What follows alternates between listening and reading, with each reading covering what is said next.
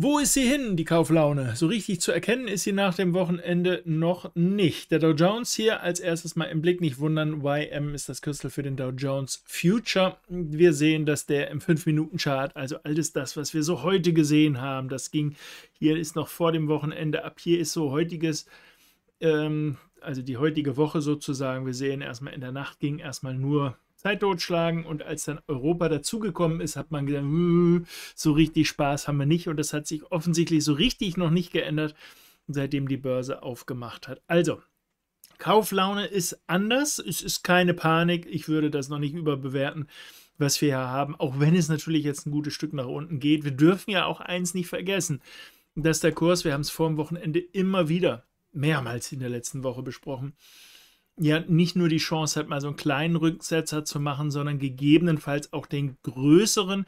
Und dieser größere wäre dann eben quasi der Rücksetzer, so ungefähr dieses Anstieges, den wir hier haben, egal ob wir jetzt von vorne oder hinten rechnen.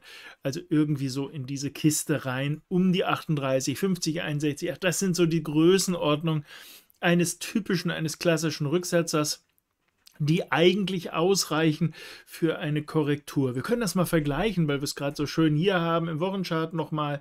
Können wir mal sehen, wie weit ist der runtergegangen. Also auch im Wochenchart hätten wir die Chance dafür, dass wir äh, korrektiv runtergegangen sind, tief genug nämlich in diesem Bereich und jetzt nach oben durchgehen. Und ein bisschen spricht ja der Bruch über diese Zwischenhochmarke, typisch korrektives Abwärtsbild für die Long-Richtung. Ich weiß, dass es ganz viel Stimmungen gibt, die in die Gegenrichtung gehen. Die Fundamentalisten sehen die Welt nicht so rosig. Äh, wir haben jetzt gehört, BlackRock ist ebenfalls nicht so richtig erfreut oder, oder in froher Erwartung, was das Jahr 2023 angeht. Ihr wisst, äh, Dr. Jörg Rahn, mit dem ich ja regelmäßig äh, im Austausch stehe von der fundamentalen Seite, der sagt auch, also Ah, Rüdiger, ich sehe die Leading, Leading Indicators, also die Früh-Früh-Indikatoren, alle in einer ganz doofen Position.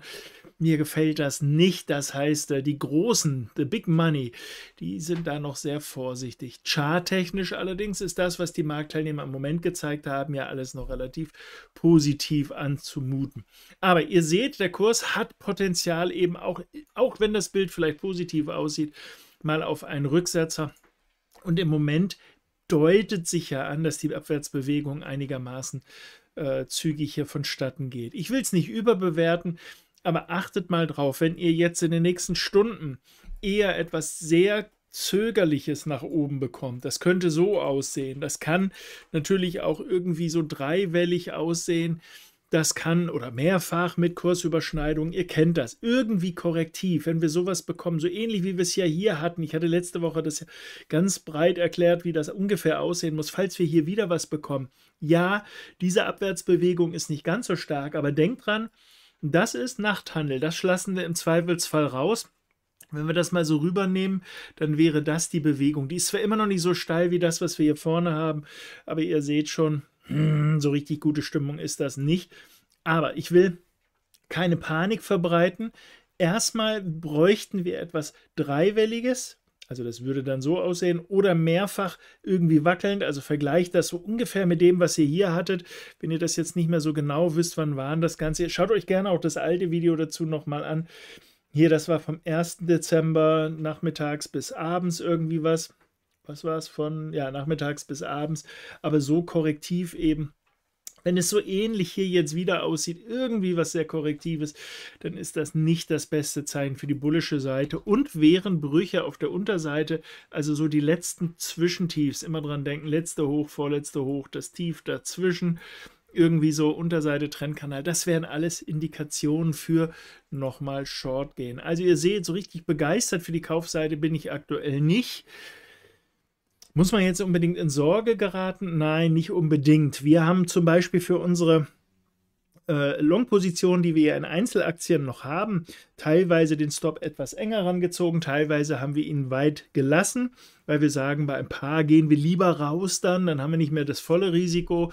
Beim Paar wollen wir dieses Ding hier aber auch überleben, notfalls, wenn er ein bisschen runterkommt, wenn er dann anschließend wieder nach oben geht. Also ihr seht, da ist eine gemischte Strategie durchaus nicht so schlecht. Aber bleiben wir hier beim Index, äh, nicht so sehr auf Einzelaktien jetzt gehen, sondern auf den Indexhandel. Wenn das hier als nächstes passiert, richtet euch auf die Short-Seite ein. Platz hätten wir 32.500 ohne weiteres und sogar 400 äh, oder noch tiefer 32.000, vielleicht sogar 31.000 noch. Ob so tief noch muss, werden wir sehen, aber wundern dürfte uns das ehrlich gesagt nicht, denn wie gesagt, hier mal eine Korrektur mit einzubauen, wäre nicht die doofste Idee, auch nicht in einem generell bullischen Umfeld. Wir dürfen auch nicht vergessen, dass der S&P nicht ganz so doll dasteht, denn der ist noch weit weg von diesem Trigger sozusagen für die Long-Seite. Die gesamte Aufwärtsseite sieht sehr, sehr korrektiv aus. Inzwischen hat er auch hier den, die fallende Trendlinie, so ein bisschen das Cluster hier mit der Fibo-Marke, das so halbwegs erreicht. Das war jetzt keine Garantie, dass der Markt dreht, aber offensichtlich haben die Marktteilnehmer da schon mehrmals hingeguckt, denn wir haben ja gesehen, dass äh, diese Marke hier auch schon gehalten hat. Das ist alles kein Beweis, aber das ist ein Hinweis, dass einige Marktteilnehmer da ein wenig genauer drauf gucken und die werden natürlich jetzt gucken, ist die Bewegung dort sehr überzeugend gewesen?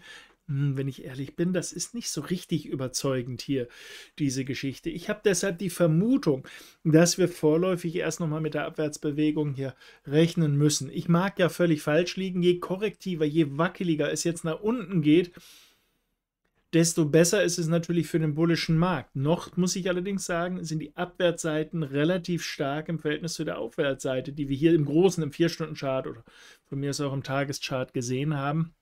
Und das, was wir hier äh, sehen, ist natürlich nicht so ganz groß anders wie beim Dow Jones, aber man muss natürlich auch dazu sagen, dass die Abwärtsseite auch jetzt nicht super dynamisch ist, denn wenn man genau hinguckt, selbst wenn wir diesen Nachthandel mal weglassen, wo äh, ja nicht so wirklich viel passiert ist, wir sehen, dass auch hier die Gegenbewegungen irgendwie doch überschneidend sind. Also richtig Druck nach unten sehe ich da noch nicht. Jetzt hängt es also sehr davon ab, was jetzt hier als nächstes kommt. Beim Dow Jones habe ich euch gezeigt, wie das aussehen könnte, wenn es nochmal ein Shorty werden soll. Irgendwie sowas in der Richtung. Hier zeige ich euch jetzt mal, und das meine ich jetzt bewertungsneutral, es kann auch sein, dass es beim Dow so aussieht, ich will euch verschiedene Varianten zeigen. Wenn es eben nicht dreiwellig, wackelig, irgendwie was Korrektives nach oben jetzt kommt, sondern doch irgendwie sowas. Oder alternativ, ich mal das mal hier so ein bisschen, zack, Pause, zack, Pause, zack. Ja, dann ist das natürlich nicht korrektiv. Warum nicht? Weil es nicht dreiwellig ist, weil es nicht kursüberschneidend ist. Weil im Gegenteil, die Korrekturphasen, die wir zwischendurch haben, große Abstände haben. Das sind meistens gute Zeichen für vorläufig die Long-Seite. Das ist allerdings erstmal der Showcase sozusagen, der Proof of Concept, wie man modern sagt, also äh, um zu zeigen, ja, so müsste das theoretisch aussehen.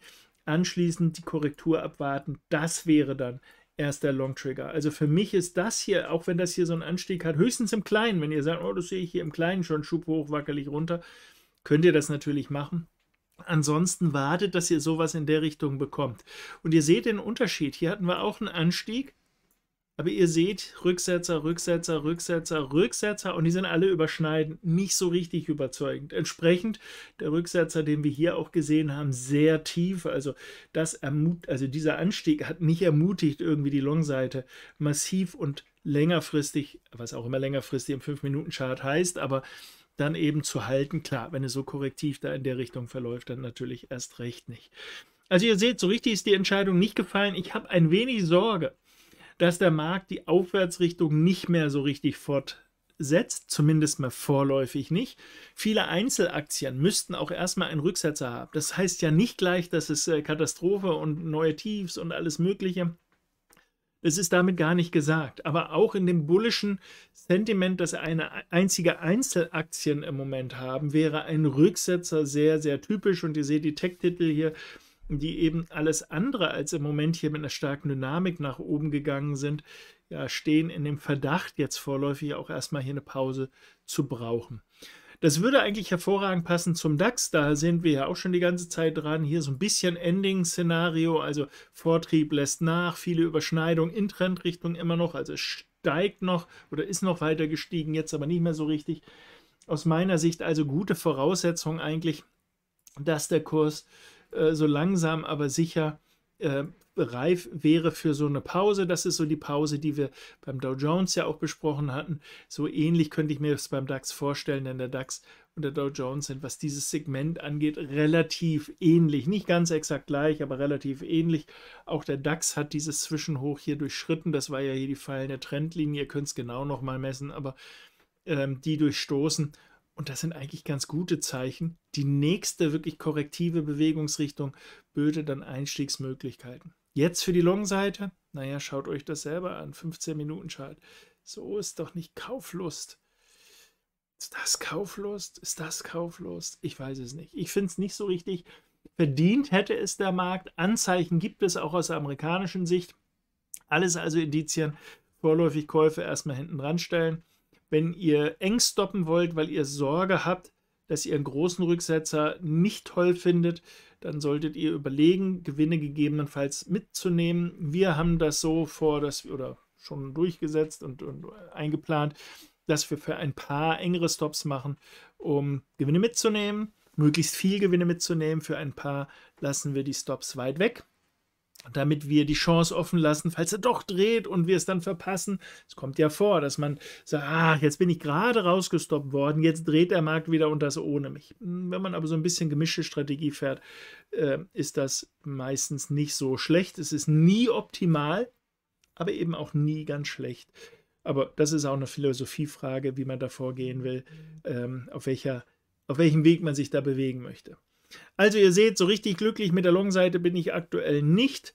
Das heißt nicht, dass ich äh, den Bullenmarkt gänzlich aufgegeben habe. Im Gegenteil, ich würde mich allerdings über einen Rücksetzer eigentlich was, äh, wahnsinnig freuen. Und zwar nicht aus Boshaftigkeit, sondern auch deshalb, weil die Form des Rücksetzers möglicherweise jetzige Zweifler doch noch auf den Plan bringt. Denn wenn der Kurs tatsächlich so läuft, später das hier durchstößt, dann werden auch die längerfristigen Bären, die sagen, naja, aber das ist jetzt wirklich schon ein Einstiegssignal, die dann jetzt noch mit viel Geld an der Seitenauslinie stehen, in den Markt stoßen und dann dafür sorgen, dass der Kurs nach oben geht. Das ist aber etwas, was uns nicht für heute mehr interessiert.